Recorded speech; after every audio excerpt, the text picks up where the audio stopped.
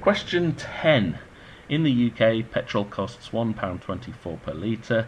In the USA, petrol costs $3.15 per US gallon. 1 US gallon equals 3.79 litres, 1 pound equals $1.47. Was petrol cheaper in the UK or in the USA?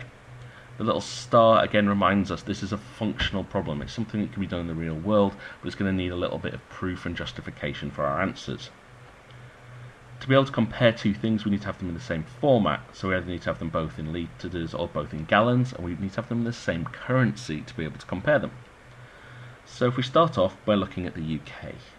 Now the UK at the moment we've got a value of a litre. But if this one's in gallons, then how much would a gallon cost in the UK? Well that's 3.79 litres altogether.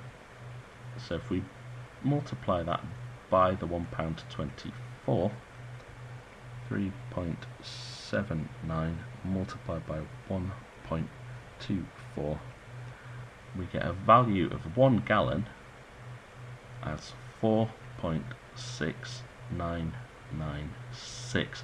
While that's not an accurate currency measurement, we keep everything that the calculator tells us until our final calculation is completed, and that's per gallon.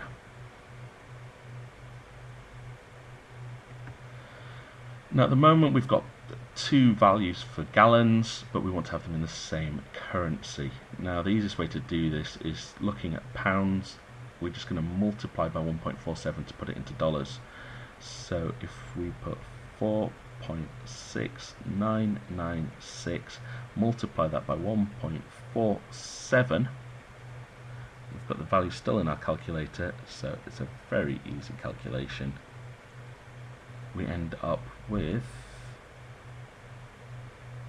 6.91 dollars for a gallon in the UK.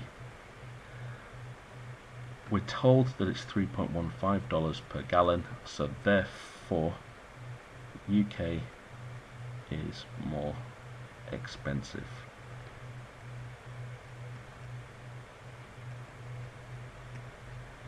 So our final answer USA.